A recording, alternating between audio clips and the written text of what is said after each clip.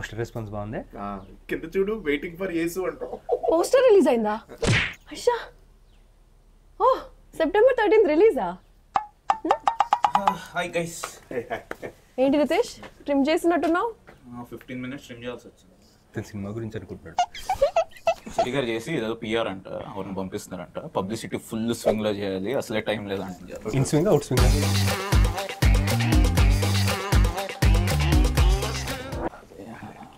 కూర్చోండి కూర్చోండి. నువ్వెందుకమ్మా నుంచి నువ్వు కూర్చో.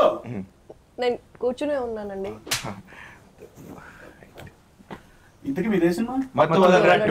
ఎప్పుడు తీసారు మా నాన్న పుష్ప సినిమా ఏంటంటే అప్డేట్ల మీద అప్డేట్లు ఇవ్వడానికి సైలెంట్గా తీస్తాం నేను అడిగేది పార్ట్ గురించి కాదు. అసలు పార్ట్ వన్ ఎప్పుడు తీసారు యాక్చువల్గా మా సినిమా కంటెంట్ వచ్చండి. ఇప్పుడు మీ కలంతా వినోక చేయడానికి నేను ప్రొడ్యూసర్ కాదు కదా.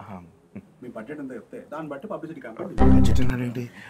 Can we just skip the commercials new age ideas promotion ప్రతి సినిమాకి కొత్త ఐడియాలు కావాలంటే దొబ్బది ఇక్కడ. ఏ సినిమా అయినా ఒకటే ఫ్లో అంటే? మీ సినిమాలో మంచి రొమాంటిక్ సాంగ్ ఏమైనా ఉంటే చెప్పండి. ఫస్ట్ సింగిల్ అని చెప్పదు ఈ సినిమాలో first single second single third single అంటే మీ సినిమాలో అసలు లవ్ ట్రాకే లేదా? ఈ సినిమాలోనే కాదు నా ఏ సినిమాలోనూ లేదు. ఎందుకు? రాడ్ సింగిల్ ఓ నాకు ఒక ఐడియా ఉంది. నేను పాట పాడతాను. నీకు పాట పాడడం వచ్చా? Known is an option unknown is a drop ఇంతకుముందు ఎప్పుడైనా పాడావా? పోయినసారి రిషికేష్కి వెళ్ళాను కదా. ఆ, అక్కడ కాన్సర్ట్లో. లేదు లేదు. ఇక్కడ అంతాక్షరిలో పాడాను. నైస్ చెప్పులు. సరే ఆ సాంగ్ సంగతి ఏదో మీరు చూసుకోండి.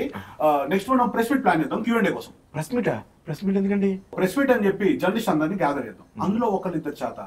సినిమాకి ఏ మాత్రం సంబంధం లేని కొన్ని కాంట్రవర్షియల్ క్వశ్చన్స్ అడిగిద్దాం. ఆ క్వశ్చన్స్ అన్ని యూట్యూబ్లో ట్రెండ్ అవుతుంది. మీరు ఇచ్చే ఆన్సర్స్ అన్ని ఇన్స్టాగ్రామ్లో మేము అవుతుంది. మొత్తానికి మీ సినిమాకి పబ్లిసిటీ అవుతుంది. అంత రిస్క్ అవసరమా? సింపుల్గా నేను పాట పాడితే సరిపోద్ది అవును సార్.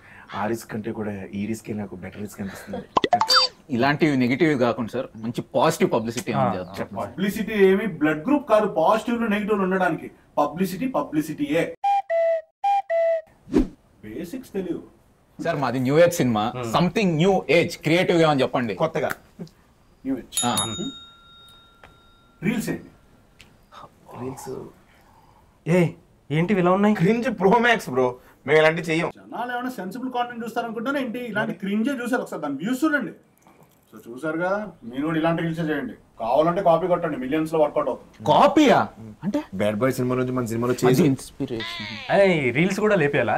ఏ, నీకు సినిమాలో చెప్పి ఎక్కడ చెప్పి ఎన్నిసార్లు చెప్పాలరా? అది లేపేయడం కాదు. తస్కరించుట. కుదిరితే కొలాబ్ చేయండి లేదా కాన్సెప్ట్ తస్కరించండి. ముందు మీరు బయలుదేరండి. అదేంటి? లేకపోతే కొత్త కాన్సెప్ట్ ఏమో చెప్తావు అనుకుంటే క్రింజ్ రీల్స్ చేయమంటావు కాంట్రవర్సీలు చేయమంటావు అవసరం పా! That's the only way where there is a way there is a will this the way out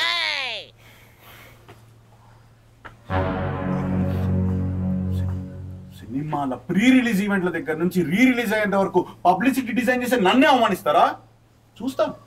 చూస్తాం మీరు మీ సినిమాని ఎక్కడి వరకు తీసుకెళ్తారు? ఎక్కడికైనా తీసుకెళ్తాం. సెప్టెంబర్ థర్టీన్త్ రిలీజ్ మా వెనకాల ఉంది ఎవరనుకున్నావు ఇక్కడ కాదు ఆఫీస్లో. నేను అక్కడికి వెళ్తున్నా చూద్దాం. వెళ్ళు. గైజ్ ఇవేం వర్కౌట్ అవ్వవు. నేను పాట పాడతా. ఇందాక నుంచి పాట పాడతాను పాట పాడతాను అంటున్నావు. పిచ్చిలో పాడటం తెలుసా అసలు నీకు? పిచ్చిలో పాడతారా? ఆడతారు కదా. సరిగమలు గమకాలు అంచుప్రసలు. అసలు సప్త స్వరాల్లో ఎన్ని స్వరాలు ఉంటాయి తెలుసా? ఆ, తెలుసా? అయితే నువ్వు ఈ సినిమాకి కరెక్ట్. నువ్వు పాడచ్చు ఓకే ఫరియా నువ్వు పాట చూసుకో మీరు రీల్స్ చూసుకోండి. మరి నువ్వేం చేస్తావు? నేను కొంచెం షేర్ చేసేదా ఇది కాదు సినిమా. సినిమా చేస్తారా?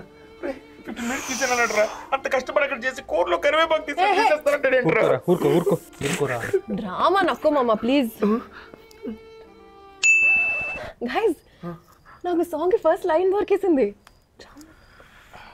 సర్లే మనం రిలీజ్ చేసుకుందాం.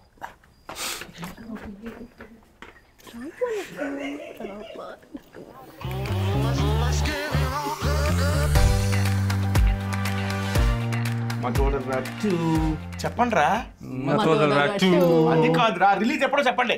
రిలీజ్ ఎప్పుడు? ఓకే గైస్ సెప్టెంబర్ థర్టీన్త్ మా cinema release please watch in theatres